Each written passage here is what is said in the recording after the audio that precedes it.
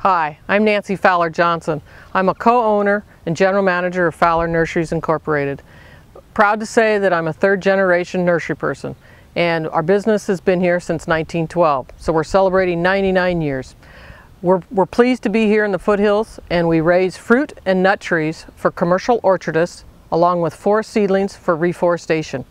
We farm about 600 acres here along with 100 acres in another county where we have mother tree orchards of um, the varieties, budwood, seed, things such as that, and also test orchards in other locations. We're pleased to be helping with this video to explain a little bit more about fumigation. Fumigation is, the whole process is a chemical that is, uh, for us, injected into the soil to help us eradicate any pests or pathogens that may be present in our soil. For the nursery industry to sell our products, we must be certified with the state of California. And in order to do that, the best way is for us to fumigate our soils. And as you can see from the video that we will be you'll be seeing is the actual process of soil fumigation along with a tarping process that helps to keep, retain that fumigant down in the soil for a period of time. The biggest advantage for us is the nematode um, eradication in our soils and that's what really the state is after. Those nematodes are very devastating to root systems and for our industry that's very critical. We don't want to be shipping a product that is already infested with nematodes. So we want the trees to start off uh, with a very good start and to be productive uh, for the growers and to produce a great crop for them in the future.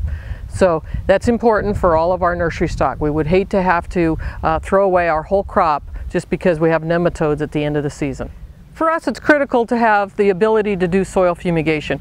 We couldn't produce a bare root fruit and nut tree or a forest conifer seedling of the quality and of the type that we do. Our trees take up to three years to grow and we would be devastated if we didn't have soil fumigation to be able to be certified. We would lose 60 plus employees that have been with us for a considerable period of time and we would not have the ability to produce the trees that, that we do for the growers. And without soil fumigation, I'm afraid the pathogens and the nematodes would win. I know a major question is, is fumigant safe for food? Is it safe for our environment? It's safe for food. We're grazing fruit and nut trees.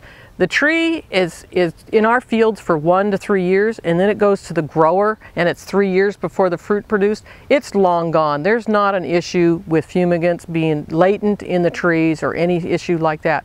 Environment, You'll see from our video of where we're located, we've still got oak trees, we've still got a lot of extra and natural habitat here. We, we have uh, some of the wildlife we'd rather not have because they like to eat the trees, but as far as it affecting the, the environment, uh, I think actually it benefits it in many ways because we can rely on a safe food source for our own use from here in the United States.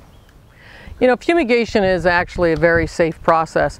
I think in most cases, fumigation is done by highly specialized, trained crews that know what they're doing. They have the utmost safety precautions that go on. They're specific to the, the need. And I would say by all means that fumigation is, an, is, is something that we, we need to have as a tool in our toolbox to continue agriculture. So as you can see, we've been here a long time. I've talked about that. We would like to continue to be here. My daughter is fourth generation and is in starting the nursery. Next year, it's party time, 100 years. Thank you very much.